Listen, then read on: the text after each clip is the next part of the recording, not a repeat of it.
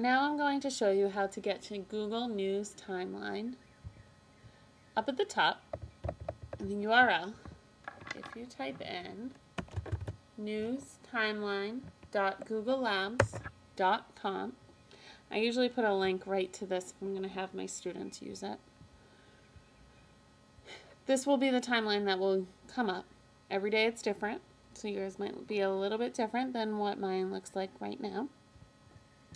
And up at the top, you can search something you're looking for. So if you're looking for Obama, it's going to have a lot with him.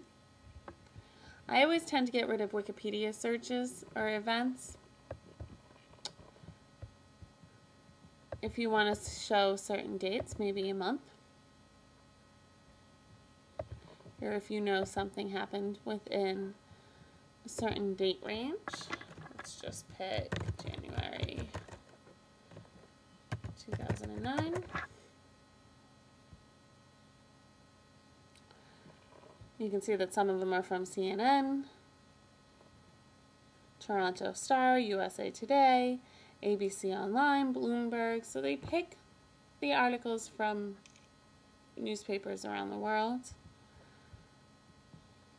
Press go. I think it's already there. And then if there are specific ones that you want, you can click on it. It'll bring you right to that article. This is in Bloomberg.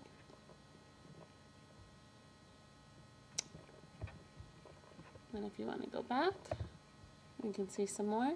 So depending upon the age of your students, um, you can use this in a multitude of ways. I know that we used it when there was a lot of tsunamis going on and we wanted to see what all the countries were saying about it. So it was a good tool in that way.